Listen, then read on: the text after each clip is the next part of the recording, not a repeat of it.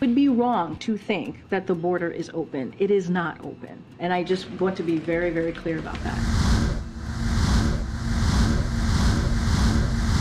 Uh, fiscal year 2021, we all know, set the all-time record at our southern border with 1.7 million encounters with illegal immigrants. But so far this year, fiscal year 2022, it's already blowing those last year numbers completely out of the water. It would be wrong to think that the border is open. A number uh, for you at this time, what I can say is that we know smugglers uh, will try to spread misinformation to take advantage of these vulnerable uh, migrants. But I want to be very clear here. Uh, the fact is that the removal of Title 42 does not mean the border is open. Uh, anyone who suggests otherwise is simply doing the work of these smugglers who, again, are spreading misinformation.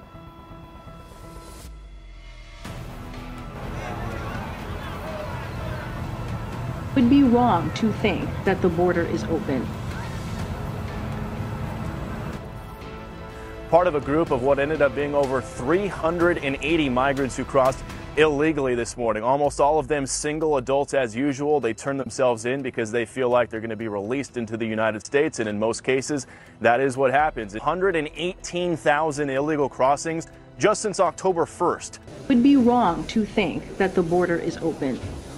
What's the plan after that to work with Congress to address this issue? Like beyond, yeah. beyond. Look, we have. I mean, Ed, we have from day one have asked Congress to help us with this issue, right? By putting forward the immigration reform bill. That's on day one that the president uh, had requested that, had asked that. That's to deal with uh, modernizing uh, the immigration, this broken immigration system that we currently have, and also to really protect uh, our DACA recipients and do so much more. And so we have we have reached out. We've done outreach to Congress. We have asked them, and by by acting, again, putting forth uh, this uh, this this piece of legislation virtually no change in immigration policy with Democrats well, in charge. Mean, so well, that's, I, how's it going to get I, any easier when Republicans well, are in charge? look, again, we are we've asked for the 3.5 billion. We're going to continue to ask Congress to, to assist in helping with, especially congressional Republicans, uh, to help us with what's going at the at the border. If they they are indeed serious about doing that, saying, well, the president has the ability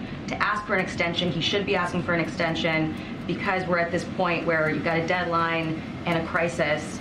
Is that within the president's authority to do that? So look, we remain we remained under a court order to lift Title 42. That is a court order. That that is a court order that is telling us to lift Title 42, and we're going to comply because we follow the rule of law. that is sought to lift. That it. is, but it is a court order. But that is that started by you guys. It was a court order that has been provided to us, and so now we have to comply, and that is we have to comply by December 21st. It is it is a law so that has been don't support What I'm saying is that I, what I'm saying that it is a court order that has been presented to us that we are going to comply with. The president uh, tasked the vice president with studying and working on the root causes of some of these issues. I'm wondering if there's any update from this side of the White House on what she's been doing and what she will continue to do as we're expecting an influx at the border well, Wednesday. As you know, the president uh, appreciates the partnership that he has with the vice president. You're right, that has been her charge to uh, work in a diplomatic way in finding the root causes of, of, um, of migration. I don't have anything to lay out specifically on what that work looks like, uh, but again, we appreciate her partnership, uh, and uh, I would probably um, refer you to her office on anything specific on the work that she's doing.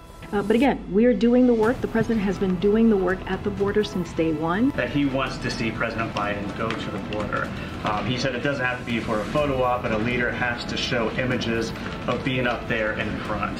So does the president have any plans to go to the border? Is now a good time to go? Like you said, I've addressed this before. Look, the president's focus right now is to come up with solutions. It's focused on making sure that we have the resources to manage what the challenges that we're seeing uh, at the border. And right now, we, as you know, we have a budget request in front of Congress. And again, if congressional Republicans are serious about dealing with the challenges that we're seeing at the border, uh, they will assist. So there was simply no better way to present that story than allowing the White House to speak for itself. If you've been following this story at all, obviously you know none of these dots connect, none of the stories align.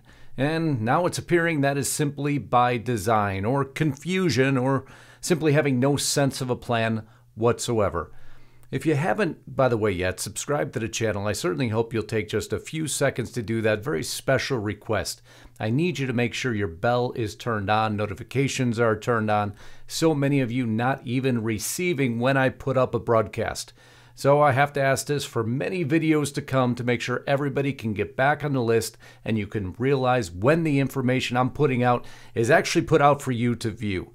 Or simply go to restrictedrepublic.com, our platform created. No commercials, no interruptions, exclusive content. Lisa Haven and I broadcasting there continually.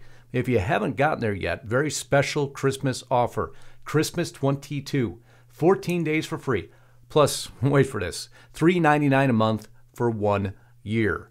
I'll need you to get over there. We'd appreciate it. It's your means of supporting me. If you don't want to get there, then join as a member here on YouTube. Either way, we will continue to bring you the news that matters and put it in the simplest format possible. And lately, the simplest format is simply allowing them to talk for themselves. You can't believe the string of information that's coming out because they want you to forget all of this. They want you to forget the Biden administration gears up for the end of Trump era border restrictions. Eh, the decision now resides at the Supreme Court, but yet they're saying it's a congressional decision, and yet they're saying the president could do nothing about it.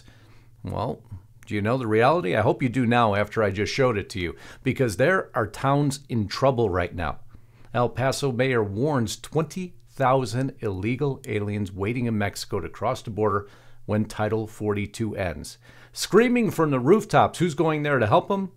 Nobody. He's going to be on his own, just like Arizona, just like other parts of Texas.